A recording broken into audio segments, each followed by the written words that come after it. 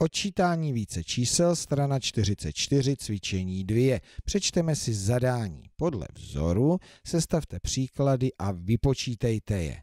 Úloha A je vzorová, tak se na ní podíváme. 66 je délka nebo hodnota této celé části. 66 ta je rozdělená na tři menší části, na neznámou část a dvě známé části, 12, 20. Dívám se na ten první příklad, který mě to vlastně popisuje. Neznámá část plus 12 plus 20 rovná se ten celek. Prohlížím si druhý příklad a tady vidím slabonký otazník, jako tu neznámou část. Aha, takže tímto příkladem na očítání já se chci dopočítat k tomu, kolik je ta neznámá část. A jak je to uděláno? 66, čili od toho celku, je nejdříve odečtena jedna známá část, potom druhá známá část, no a když jsem to takhle pěkně poškrtal, tak vidím, že mě z toho celku zbyla jenom ta neznámá část. Výborně. Takže to jdeme vypočítat.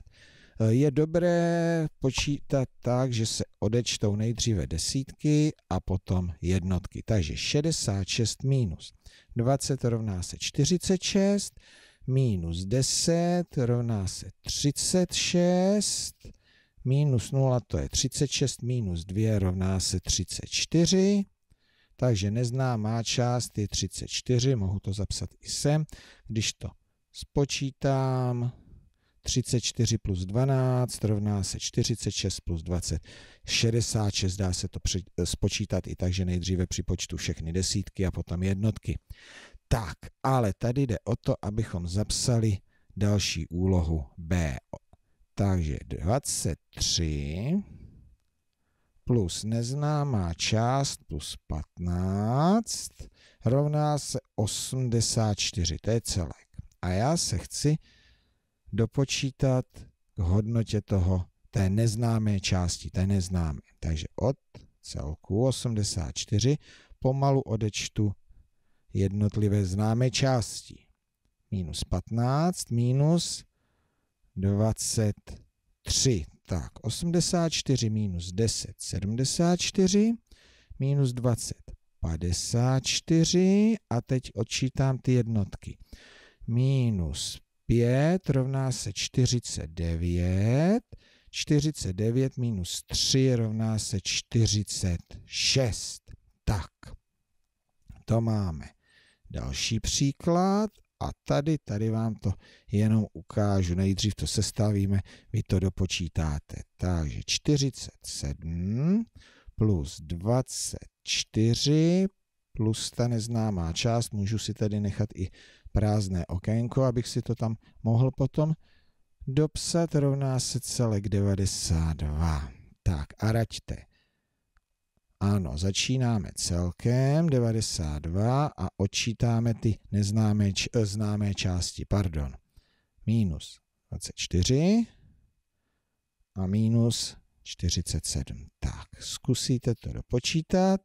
Jenom se rychle podívám, ano, to, co jsme vypočítali, jsme vypočítali správně a pustíme se do druhé části a tady je to bez toho příkladu na sčítání, čili jen příklad na odčítání, kterým se snažím vypočítat tu neznámou. Tak dobře, takže z, hnedka.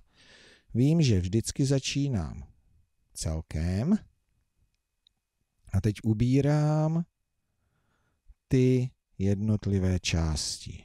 Takže nejdříve minus 12, potom minus 37.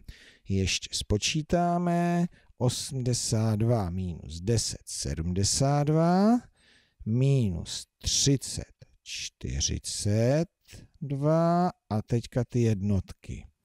Minus 2, to jsme na 40, 40 minus 7 rovná se 33.